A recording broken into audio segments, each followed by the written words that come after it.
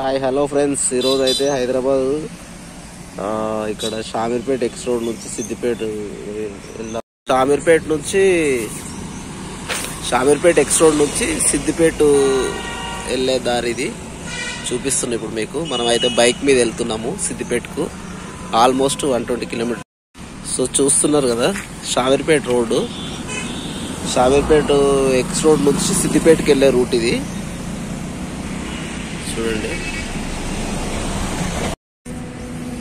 start